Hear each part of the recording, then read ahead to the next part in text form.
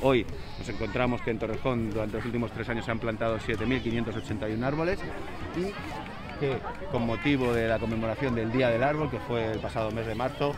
no pudimos celebrar esta iniciativa y la fuimos retrasando en función de la climatología, que queríamos que los niños y las niñas estuvieran a gusto, pero hoy con motivo de ese Día del Árbol pues estamos haciendo esta iniciativa y estamos pasando un rato agradabilísimo con los niños y niñas de la ciudad que por otro lado estoy convencido de que tienen muy claro la importancia del medio ambiente, quizás mucho más que, los coetáneos de mi generación y de generaciones mayores y que en ellos tenemos que depositar pues eh, la confianza de que, de que lo van a hacer seguro mucho mejor que nosotros. Tipo de iniciativas yo creo que contribuye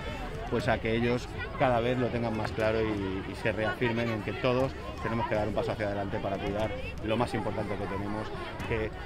más allá de nuestra familia, lógicamente, es nuestra casa, que es la tierra y que es el medio ambiente, que es el que permite pues, tener como tenemos unos entornos tan maravillosos.